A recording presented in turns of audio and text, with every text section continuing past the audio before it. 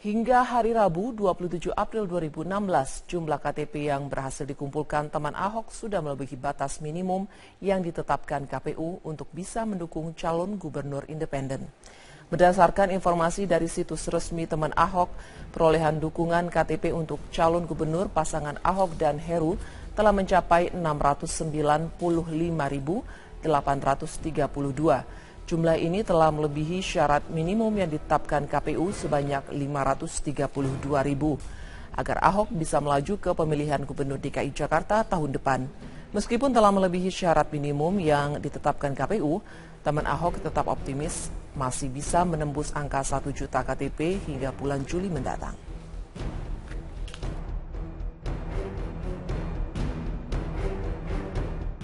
Kita beralih ke informasi Komisi Pemilihan Umum mengusulkan agar syarat dukungan calon kepala daerah independen maupun dari partai politik diturunkan. Usulan tersebut masuk dalam draft revisi Undang-Undang Nomor 8 Tahun 2015 tentang Pilkada yang disampaikan kepada Panitia Kerja Komisi 2 DPR RI.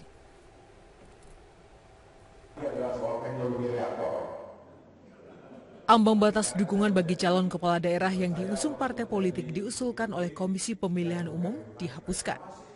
Batas dukungan bagi kader politik dihitung berdasarkan kursi yang dimiliki oleh parpol di lembaga legislatif. Sedangkan bagi calon perseorangan, ambang batas dukungan suara dikembalikan menjadi 3 persen sesuai yang diatur dalam Undang-Undang 12 tahun 2008. Cara tersebut menurut Komisioner KPU Ferry Kurnia Rizkyansah bisa mengurangi munculnya calon tunggal seperti yang terjadi pada Pilkada 2015 lalu. DPR dan pemerintah bisa proporsional melihatnya. KPU tidak memberikan uh, opini apa pun, walaupun kami di dalam uh, 63 poin itu salah satunya kita uh, informasikan bahwa misalnya untuk threshold uh, yang memang bisa bisa apa bisa mencalonkan itu lebih, lebih baik uh, yang ada kursi di DPR saja. Jadi tidak ada persentase threshold yang uh, atau ambang batas yang ada. Itu untuk uh, partai politik.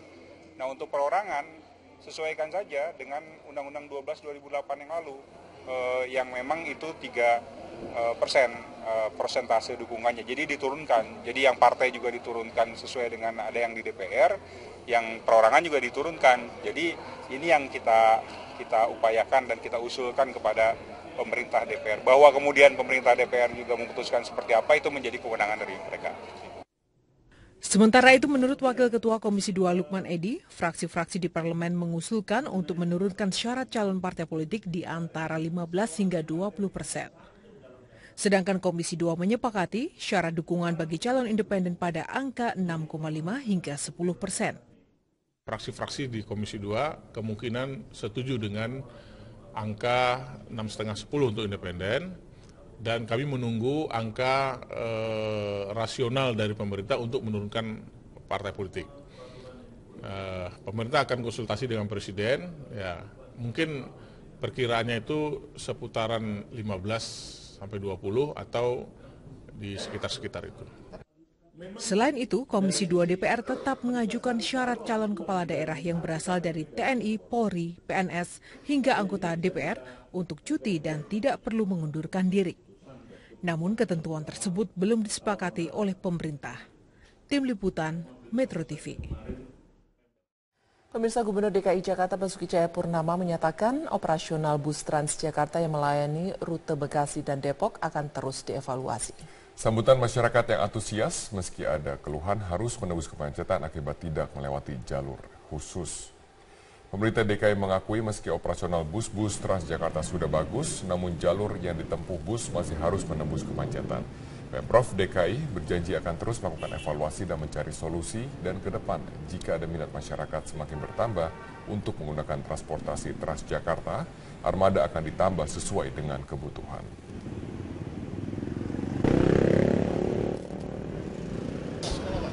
Yang Bekasi itu penuh, sambutan antusias.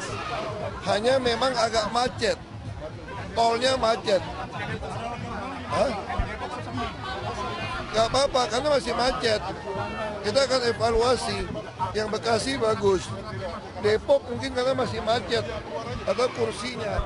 Tapi saya yakin ke depan orang akan lebih pilih ini. Kalau sekarang orang belum tahu. Terus jamnya juga belum banyak. Dia baru 5 unit, nggak cukup. Transjakarta Depok rute Universitas Indonesia ke arah Manggarai masih terlihat sepi penumpang. Tidak adanya jalur Transjakarta di rute ini membuat penumpang enggan menggunakan bus Transjakarta jurusan halte UI menuju Manggarai, walaupun tarifnya cukup murah.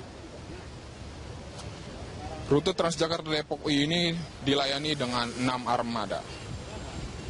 Rute Transjakarta Depok U ini dilayani dengan enam armada, tiga bus beroperasi dari halte Universitas Indonesia, dan tiga lainnya dari Terminal Manggarai, Jakarta Selatan. Berbeda dengan Transjakarta Bekasi, meski tarifnya murah, masyarakat masih enggan menggunakan Transjakarta rute ini. Tidak adanya jalur khusus membuat bus Transjakarta jurusan halte UI ke Manggarai menggunakan jalur reguler, sehingga bus ini harus menghadapi kemacetan seperti bus-bus reguler lainnya. Padatnya kendaraan yang melintas dan tidak adanya jalur khusus ini menjadi kendala tersendiri para sopir bus Transjakarta sehingga pada hari ini penumpang masih enggan menggunakan Transjakarta jurusan halte UI menuju Manggarai. Masih sepi. Kebetulan karena belum ada gimana ya? belum ada yang tahu. Sebagian kan ini karena rute baru, jadi mereka masih bengong-bengong gitu. Harapannya sih bisa startnya dari Margonda, dari Margonda Depok, karena kan uh, pasti kan penumpang banyak yang dari Margonda. Jadi kalau ini kan di ujung ujungnya Margonda ya, jadi kalau bisa sih dari Margonda. Nah, mungkin kita kan biasa di jalur itu ada khusus jalur khususnya ya Pak ya. Karena ini jalurnya reguler, ya paling singgungannya agak-agak sama angkot, terus kemudian uh, motor yang kadang nggak mau ngalah. Selain itu, kami juga akan menyampaikan berita bahwa Pemprov DKI Jakarta berencana menghapus terminal yang ada di dalam kota. Uh, setelah diluncurkan Senin kemarin, bus Transjakarta yang beroperasi dari Bekasi diminati warga. Tarif yang murah dan traik yang langsung ke tujuan membuat Transjakarta menjadi pilihan warga.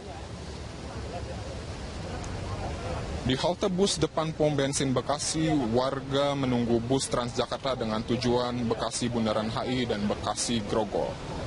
Warga memilih Transjakarta karena tarifnya cukup murah, yaitu hanya Rp3.500 sekali naik ke semua jurusan. Hal ini masih ditambah dengan rute bus yang setelah keluar tol Bekasi langsung masuk ke jalur Transjakarta sehingga lebih cepat dan sampai ke tujuan. Apalagi jalur yang dilewati bus merupakan kawasan perkantoran tempat para penumpang bekerja.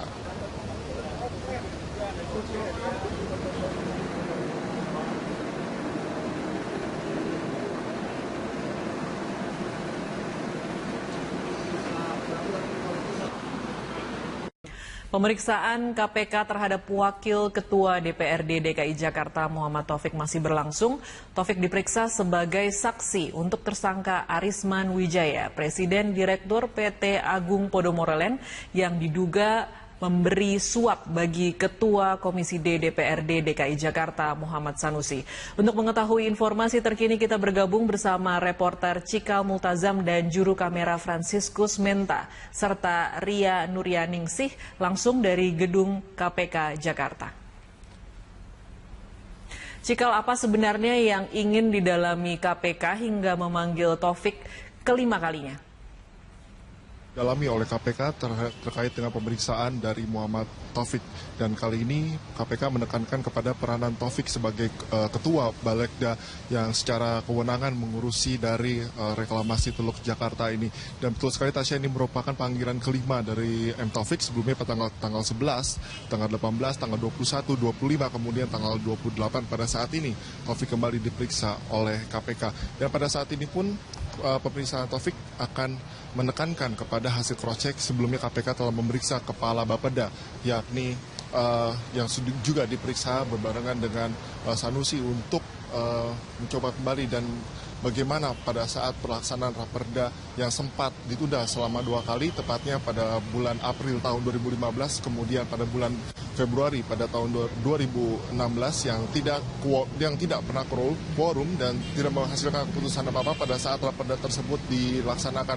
Dan pada saat raperda uh, kembali ditekankan dan digulir kembali tadi uh, Gubernur DKI Jakarta Basuki Cahayapurnama juga sempat uh, datang ke rapat paripurna, namun uh, pelaksanaan rapat terpaksa dibatalkan karena tidak memenuhi quorum dari 106 anggota DPRD hanya 50 yang menandatangani raperda dari zonasi dan juga tata ruang uh, reklamasi di Teluk Jakarta. Dan pada saat ini kami masih uh, menunggu uh, proses pemeriksaan dari M Taufik yang untuk kelima kalinya di gedung KPK ini. Tasya. Iya, Cikal hari ini KPK juga memeriksa adik Taufik yang telah ditetapkan sebagai tersangka yakni Muhammad Sanusi. Apakah penyidik akan mengkonfrontir keterangan keduanya? Ada kemungkinan pemeriksaan akan dikonfrontir pada hari ini mengingat baik Sanusi maupun Taufik diperiksa kali ini sama-sama menjadi saksi untuk tersangka Arisman Wijaya. Dan seperti diketahui pada Senin kemarin eh, dilakukan gelar perkara dan Ketua KPK Agus Raharjo tidak menutup kemungkinan adanya tersangka baru yakni satu dari pihak swasta dan juga satu dari pihak anggota DPRD. Namun tentu saja untuk penetapan tersangka baru ini harus menunggu dua alat bukti yang pasti dan juga kami juga akan uh, minta keterangan langsung nantinya dari KPK bagaimana proses pemeriksaan terhadap keduanya baik M Sanusi maupun dari Muhammad Taufik pada kali ini. Tasya. Baik, Cikal Multazam dan juru kamera Franciscus Menta serta Ria Nuryaningsi melaporkan langsung dari Gedung KPK Jakarta.